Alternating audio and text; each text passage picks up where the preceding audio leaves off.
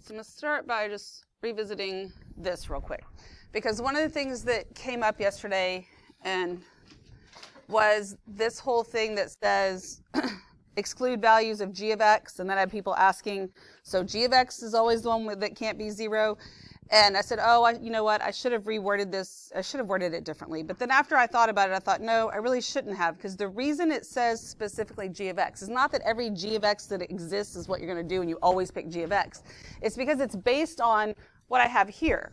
Okay, so this is your example of, we're just talking about F and G, and of course it could be H and Q, and it could be whatever. But in this particular case, because we are dividing, it's going to exclude values in which G of X equals zero. So if this was H of X, then I would exclude when H of X equals zero. If this was F of X, then it would be F of X and so forth. Okay, does that make sense to you? So that's why it's written that way, because you have to define something when you're explaining things. All right, and then the next thing was down here, I don't remember which class this came up in, but somebody said when we got to this one, don't we have to rationalize the denominator? And so my initial reaction was, oh, yeah, I haven't been doing that. I guess we should have. But then again, that was kind of like spur of the moment. And so then once I thought about it, I thought, no, you don't have to rationalize this because it's not your final answer. And you don't know if the denominator is a rational number or not because you don't know what x is, right? If I substitute in 6 and 6 minus 2 is 4, then the denominator is 2. There's no need to rationalize it. Does that make sense? So we rationalize at the, at the final step, like if you left a square root in the denominator, you know, 2 over the square root of 3 or something like that. But in this case, no, this is actually fine. Okay, so I just wanted to throw those two things out there. All right, so let's look at compositions. So again, today, this is not brand new. This is definitely Algebra 2 material. The new part of this is the domain that we have to focus on. And this one can get, it can make your brain hurt sometimes. So I'll try and spell it out as easily as I can, but um, you know, trying to figure out the domains sometimes are a little tricky.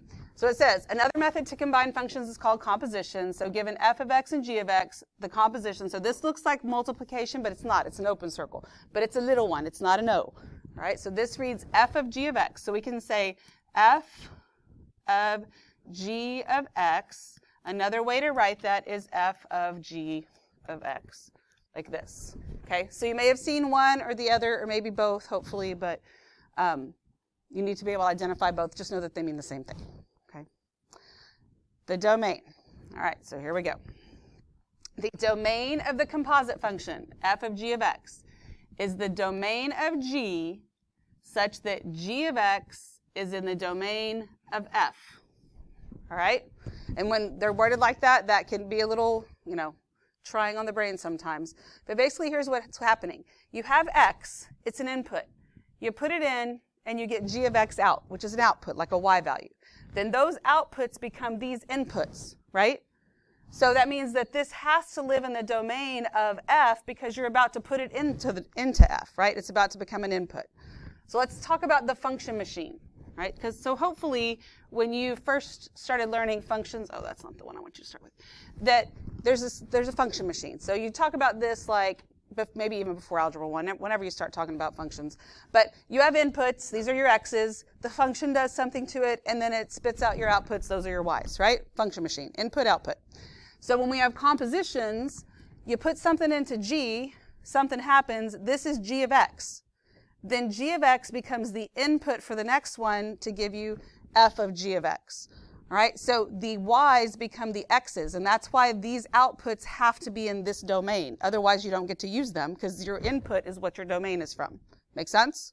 Another way to look at the composition function machine is this. You put something in, g happens to it, so there's g of x, then g of x goes into f of x, this is where your f of g of x, and then there's your final output. So it kind of all happens at once. All right.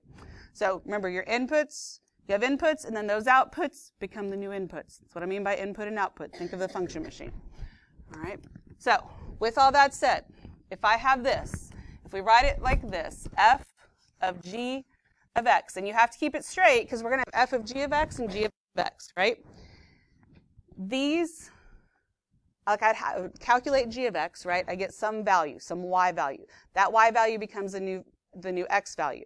So the way this reads is if you have this, whether this is f, this is g, vice versa, whatever, the domain of f of g of x, or this function, is the domain of g, this input here, such that this is in the domain of f. So you just have to make sure that g of x is in the domain of f. And hopefully that makes sense because g of x is your new x value. You with me on that? So it's always this has this has to be in the domain of f, and I'll show you how to work that out. So just like yesterday, don't get all tied up in what's happening over here because we can calculate this, but then figuring out the domains all comes from our originals over here. All right. So let's look at number one. The oh, shoot. The so we look at these domains separately. This is a what kind of function? Linear. So this is all real numbers. This is what? Quadratic, so it's also all real numbers. Right? So f of g of x, that means that this is going to be f of g of x. This is another way to write it, right? So I take g of x, which is x squared minus 4, and I substitute it into here. So x squared minus 4 plus 7.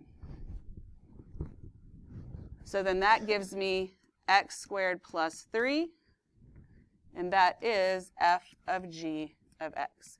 And I don't care if you write it like this or you write it like this, but you know, you have to know both of them anyway. I prefer this way. So then the domain of this is the domain of g such that g of x lives in this domain, right? So is all real numbers going to live in all real numbers? Yes. And so your domain here is all real numbers. When they're both all real numbers, just like on the other ones, it makes it easy. It's just all real numbers. That one isn't the tricky one.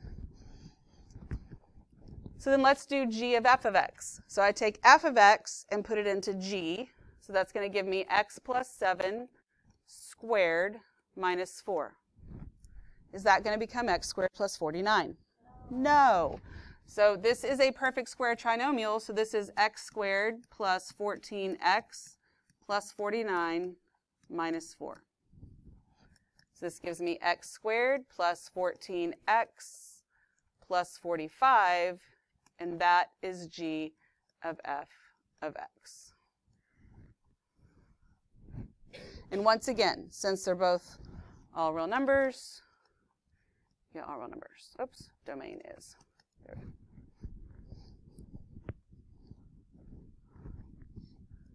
Okay, everybody okay with that? All right. Oops, dang it. Now let's look at this next one. This first one is what? Linear. So this is all real numbers. What is this one? Reciprocal. So it's technically not a reciprocal because there's an x in the numerator, but it is a rational function at least. So, but and we can figure out what the what the domain is. What's the domain? set of all x's such that what? Good. x cannot equal negative 1, so we at least know that much. All right, so we've got our domain. So let's go find our compositions, and then we'll come back and talk about the domains. So f of g of x, I take, that means I take g of x, and I'm putting it into f of x. So this is going to be 3 minus x over x plus 1. So in order to combine these, what do I need to have? The same denominator. So that means this run right here is going to get multiplied by x plus 1 over x plus 1. So I get 3 times x plus 1 over x plus 1 minus x over x plus 1. All right, so that numerator on the left-hand side, so I don't have to rewrite everything, that becomes 3x plus 3, right? So we'll just make that 3x plus 3. So then when I actually do this, I get 3x minus x is going to give me 2x plus 3 over x plus 1. Can I do anything else to simplify that? No. So this is f of g of x. So let's think about this. It's the, the domain of this is the domain of g. This is g. So it'll be this domain so long as this lives inside of here. Does this live inside of all real numbers? Yes. So since this this lives inside of there, right? Because it's everything lives inside of all real numbers. So if I have all real numbers except for negative one, does that live inside of all real numbers? Yes. Like does the number five live inside of all real numbers? Yes. The you know all whole numbers, that sort of thing. except for negative, right. Exactly. I'm not saying that the domain is all real numbers, but does do uh, does everything that's included here get included here? And the answer is yes. So then this is the domain. The domain is the set of all x's such that x cannot equal negative 1. It's not the intersection of both of them. No, not. Not the intersection of both of them. That is not, I did not say that at all today. totally different. okay. All right. Yeah, no. All right, so then g of f of x. So I take f and put it into g. So that means I'm going to have 3 minus x over 3 minus x plus 1. Sorry, a little brain fart there. So this is equal to 3 minus x over 4 minus x. That equals g of f of x. Okay. So the domain of that composition is the domain of f such that this domain, or so such that this lives inside of G. Does all real numbers live inside of here? No. So what I need to say is f of x, right? Since f of x is my input there, f of x cannot equal negative 1, right? It can't equal negative 1. So this is 3 minus x cannot equal negative 1. So x cannot equal what? 4, and it's positive 4. Which I realize you could look at this right here and know that it can't equal 4. But remember, just like yes, this is something that's similar to yesterday. This, if I, if I was able to actually cancel some stuff out over here, you may not see that inside of here. That's why you have to go over there. So it's all real numbers, but it cannot equal negative 4, or it can't equal 4. So it's a set of all x's such that x cannot equal 4. That's your domain. Okay. What questions do you have? You're going to have to actually analyze this. This isn't just like do this step, do this step. You're going to have to think, does this stuff, will this be an input for the next one? Like you have to actually analyze what's going on here. You don't get to just run through steps and it gives you answers, okay? We good? You have to actually think. I know, that's a lot to ask. All right, flip it over. Let's look at four.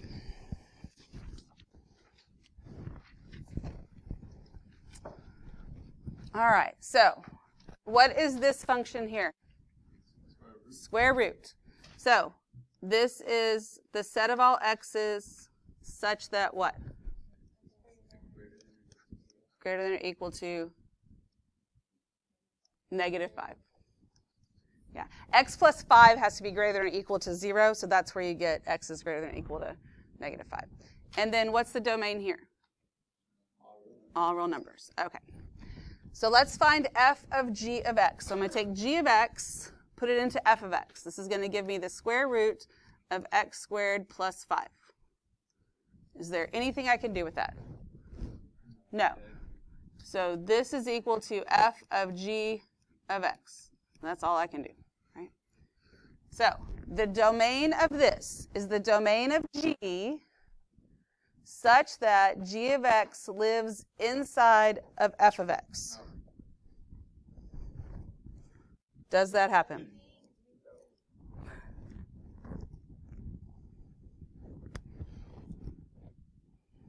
Yes or no? No. No. Okay. So let's look at what happens here. That means that what we're saying is that no matter what, your g of x is going to have to be greater than or equal to negative 5. Do you agree with that? So g of x has to be greater than or equal to negative 5. So that means that x squared has to be greater than or equal to negative 5. Is that always true? Yes. Is there any way to make x, is there any way to make gx, g of x not greater than or equal to negative 5? No, because no matter what you do, your output for g of x is going to be a positive number. Make sense? Or zero. So your outputs there are all going to live in this domain just fine. So that means here that my domain actually is all real numbers. That's where I'm telling you, you have to think about it a little bit. You have to analyze, okay? Analyze. Your g of x becomes the input here, right? So the input for f has to be greater than or equal to negative 5. This is your new input. It has to be greater than or equal to negative 5. It's going to be no matter what I do. There's not a single x you can substitute in there where you will not get x is greater than or equal to negative 5. Therefore, your domain is all real numbers. Okay? You have to actually think about your inputs and your outputs here. Right? Ask me a question. Because this is this is this domain. The domain of f is that x is greater than or equal to negative 5. So I know that from just from this part right here, right? And since I have to, I calculate g of x, and then I'm going to substitute it into f, right? You see how this is my input for f? So you're, you're telling me right here that your input has to be greater than or equal to negative 5. So g of x has to be greater than or equal to negative 5. No matter what you do, that's a true statement. You can't make that not work. It will always work. Okay, therefore your domain is all real numbers. You can't come up with anything that doesn't. Think of maybe if that marinates a little, maybe needs to marinate on your brain a little bit more. Yeah, let it, it might click in just a minute. All right, let's move on to g of f of x. So I take f of x, I put it into g of x. So that means I take the square root of x plus 5, and I put it into g of x, and I square it. So what's the square root of x plus 5 squared? x plus 5. So that is equal to g of f of x. Now, the domain of this is the domain of f. The domain of f is what I have in pink over there. x has to be greater than or equal to negative 5. It's the domain of f such that f lives in g of x. So does this live in g of x? You're all real numbers. Yes, it does. Therefore, your domain is the set of all x's such that x is greater than or equal to negative 5. Remember, it is the domain of the input the input. So although when you look at this, it looks like your domain should be all real numbers, but it's not, okay? Because of the originals, yes? So it's always the domain of the input and then such that it actually lives in the other one and sometimes you have to go check that yes then that's when we do this and what we did on the one before it okay you have to go check things then figure out what it will be All right, we good Oh my goodness. All right. Let's look at example five. What is the domain of the first one?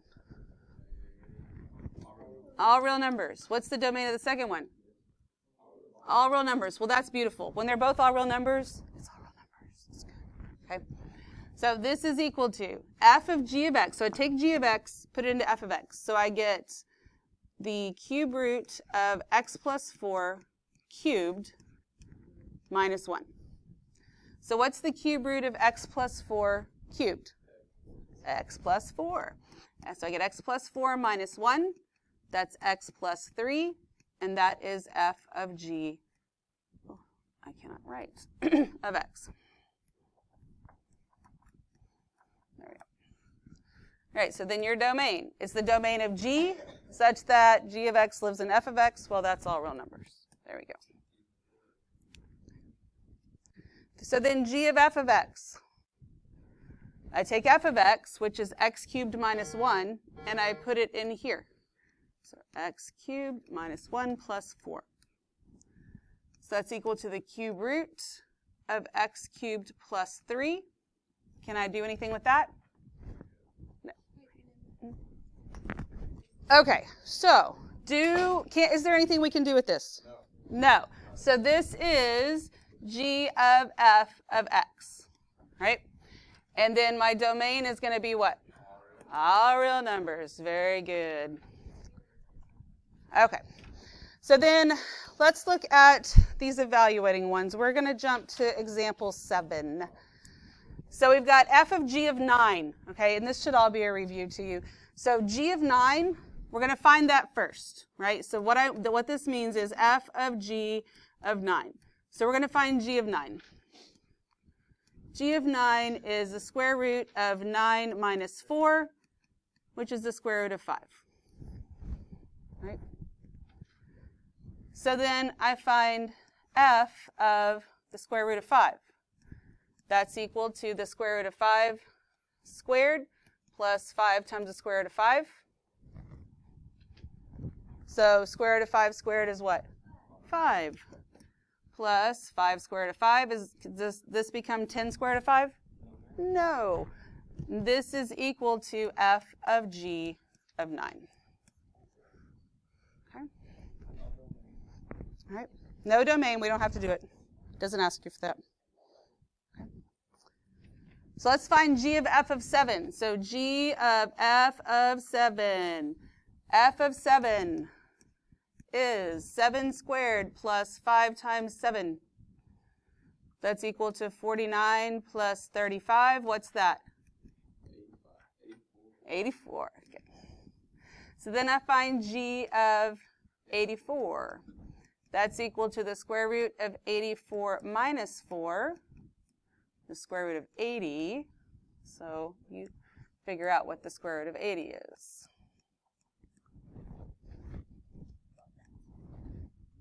What is that?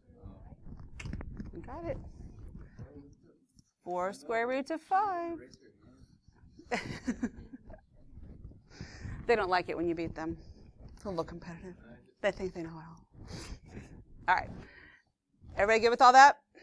Okay, because you got to be able to, um, you don't have to be able to simplify them in your head, but you have to be able to do it quickly and accurately for sure. No domain. It didn't say that. All right, so now we're going to look at decomposing a function. Okay, if I have this and I want to take it apart, right? So this is h of x. I'm gonna, and it says that f of g of x. So I would have an f of x and a g of x. Now, which one of these is on the inside? G of, if it's f of g of x, g of x is on the inside. So when you take it apart, right, you can look at, so f of g of x equals h of x. So if I use this right here and let that be g of x, what would f of x be? x cubed. So if I have this, if I have this and I want to find, because it says over there, f of g of x, then I would take this and substitute it in there. Isn't that what I would get? Yes?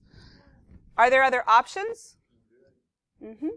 We'll do a different one for the same one. What if I said g of x was equal to 2x?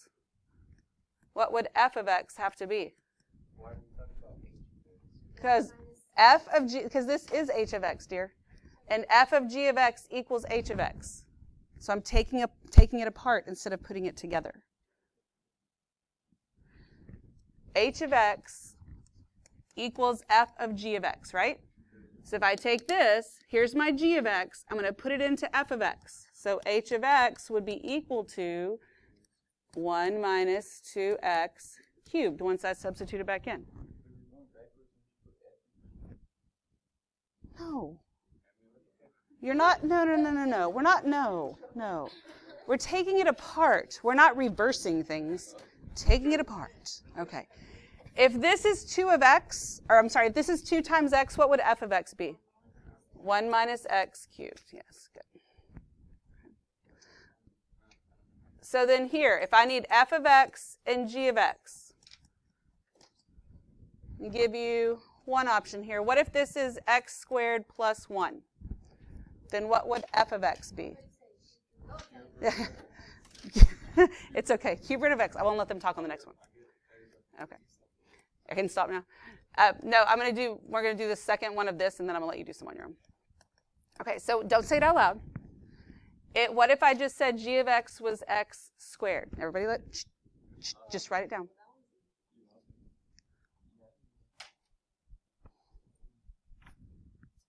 All right, so Jenny, what would it be? Mm-hmm. You got it. That's it. Okay? Yes! That's why we're taking that apart. We're not going backwards, we're just taking it apart. Then when we put it together, we should get that. But there's more than one right answer most all of the time. No, no, no, no. All right, so y'all work on 10 and 11 while I hand out the assignment.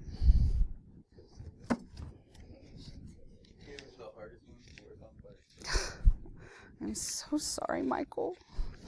Must be so hard to be you.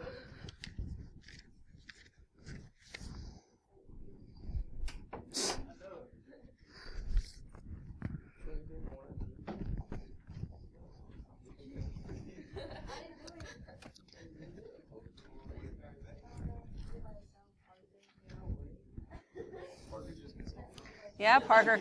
Parker, you, sh- you shouldn't have volunteered, dude. I'm just saying. you can go back and watch it. Okay, so I'm going to give you one of each of these, and then I'm going to ask some, ask you for another one. Uh, let's see. Because there's more than one right answer. There's not just one right answer. You only have to put one. Oh my goodness gracious. Okay, so here are, I gave you one option of each. So tell me then, anybody want to give me a different option for 10? And raise your hand or Michael's going to be upset. Anybody have anything different for that? So, I'm sorry, what? Not just 4 over x, but I could use, oh, well, I, hang on, they may come on and tell us we have to stay. Because they did say, but if I did 4 over x plus 7, then this could be x minus 1. Okay? And even here, let me do this real quick. I could do um, negative 1 half absolute value of x plus 5, and this could be x plus 3. Those are just options, okay? You don't have to write down every single option there is. Just write down one that works, and I'm good with that. Because if I put 4 over x, where are you going to substitute that in? What are you going to make this one look like where 4 over x would work? You can't put 1 over 7 because when you add them, that's not going to work.